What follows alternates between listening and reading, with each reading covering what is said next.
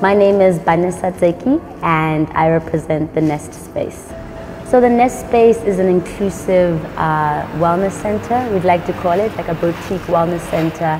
And how it came about is my partner Anesu and I really felt othered in the yoga and wellness space in a lot of places we practiced.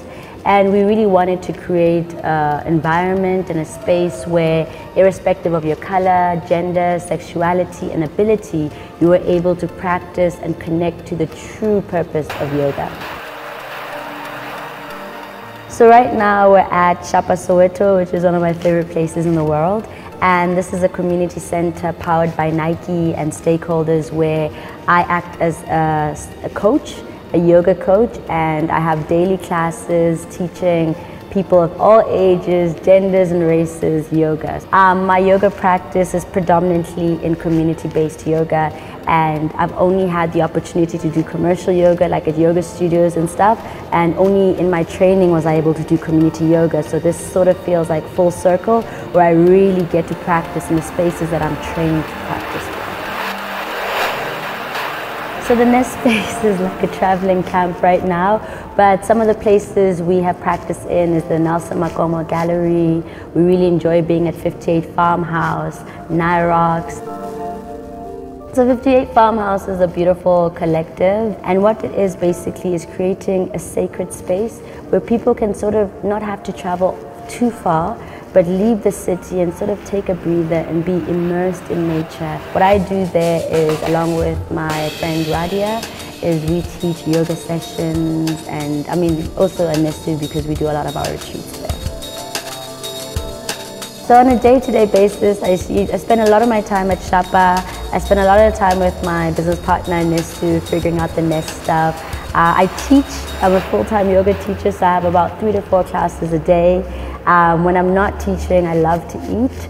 So I love going to like Little Addis Ethiopian stuff and the vegan market. So anywhere where there's restaurants and food, I'm there.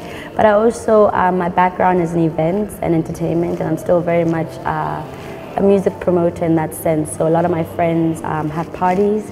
So there's Strictly Soul, there's Pantone, um, there's so much going on uh, and I love to support my DJ friends, so I'm definitely still a party girl at heart.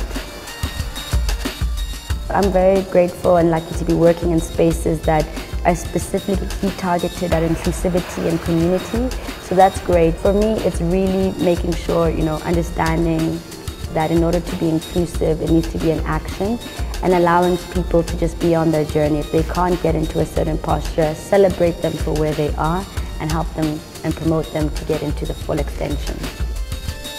We had a zero waste store, we had a vegan cafe, and then we had the yoga studio.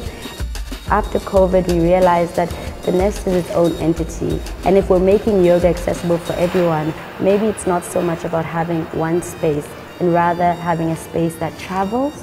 I think the people in Joburg are one of the most friendly group of people you can find in South Africa, but definitely the hustle as well it has a sense and an energy that you're here to create and be somebody and create something. And I find it very difficult to just be lazy and chilled in Joburg. I feel like you are sort of surrounded by people who are inspiring and doing inspiring things and it kind of propels you to want to do the same. I'm so glad I came here because I've never been in a space that recognizes, appreciates black talent. The mark that Joburg has created in me is that I'm definitely smarter than I think I am braver than I think I am and have a lot more love to give. The things in Joburg that I've achieved that I never ever thought I would.